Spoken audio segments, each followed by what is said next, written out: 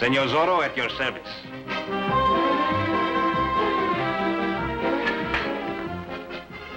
In real life, of course, I'm Guy Williams. Just another American citizen who enjoys, as you do, our great heritage of fields, forests, and streams. These conservation stamps, produced by the National Wildlife Federation, remind us to protect and preserve our public lands. Our state and national parks, our wildlife preserves and recreation areas, they belong to us, to you and me. Let's do all we can to protect them for ourselves and our children to enjoy for the years to come. If you'll write the National Wildlife Federation, Washington 12, D.C., or consult your local conservation agencies, they will tell you what to do to protect our great public lands. Thank you and adios.